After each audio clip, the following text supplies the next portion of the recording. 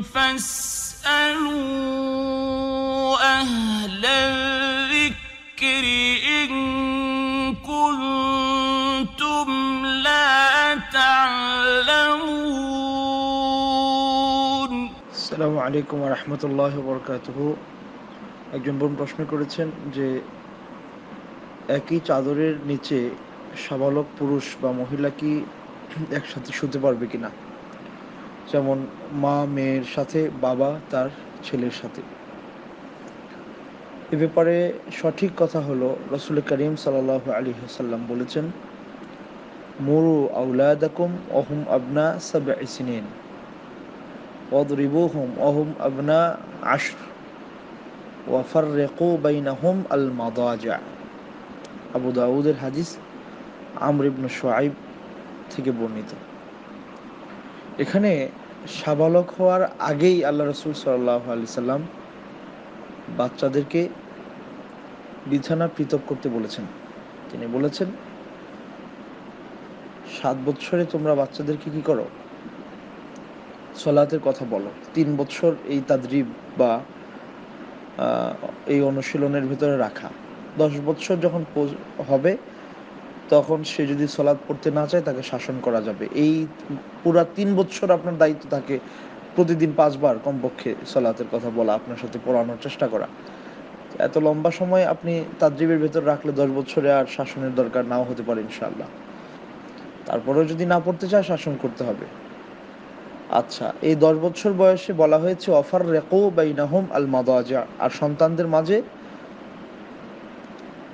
ছেলে মেয়ে বা ছেলে ছেলে, মেয়ে মেয়ে, সবার মাঝেই আল্লাহ রসুল বলেছেন যে তাদের মধ্যে বিছানা তোমরা আলাদা করে দাও। তো এক্ষেত্রে দশ বছর বয়সে হয়তো অনেক ছেলে মেয়েরা বালেক বা বালেগা হয় না, আবার অনেক সময় হয়ে যায়। তো যাই হোক, সব মিলিয়ে কথা হলো যে দশ বছর বয়স থেকেই আল্লাহ রসুল বিছানা আলাদা করতে বলেছেন। এই জন্যে উত্তম হলো তাদের জন্য আলাদা বিছানার ব্যবস্থা করা এক রুমে হতে পারে। এক রুমের ভেতরে তাদের জন্য আলাদা আলাদা বিছানা থাকা। এটা সব সবচেয়ে উত্তম। সেটা যদি সুযোগ না পায় বা সামর্থ্য না থাকে, তাহলে একই বিছানার মধ্যে আলাদা আলাদা কি বলে, চাদরে তাদেরকে রাখা যেতে পারে।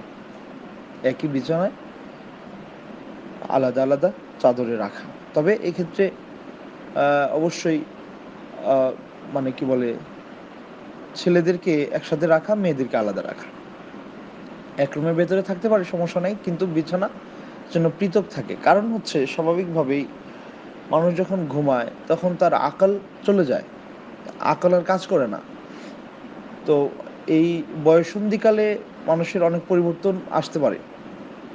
সেক্ষেত্রে এখতিয়াতন, সতর্কতার জন্য যেন কোনো ধরনের সমস্যা না ঘটে, এ সমস্ত কারণে, এ সমস্ত কারণে তাদেরকে আলাদা রাখা উত্তম। এবং এটা ইসলামের একটা চমৎকার সুন্দর বিধান, মানুষের পবিত্রতা, পরিচ্ছন্নতার ক্ষেত্রে। এটা বাবা মাদের ক্ষেত্রেও প্রযোজ্য, কারণ স্বাভাবিকভাবেই আপনার ঘুমের যে সময়টা এবং যাদের সাথে আপনার দেখা সাক্ষাৎ করা জায়েজ, মাহারাম ওই সমস্ত পুরুষেরাও তারা নির্দিষ্ট কিছু সময়ে অনুমতি নিয়ে কি করতে হয়? তাদের মাহারাম মহিলাদের কাছে যেতে হয় ঘুমের সময়ে অথবা এমন সময়ে যখন ওই রুমে কেউ নাই, অবশ্যই ওই বাচ্চাকেও যখন সে বালেগ হওয়ার উপক্রম হবে, তার অনুমতি নিয়ে ঢোকা উচিত। তো যাই হোক আল্লাহ আমাদেরকে হেফাজত করুন। সুন্দর প্রশ্নের জন্য ধন্যবাদ আপনাকে। সালামু আলাইকুম।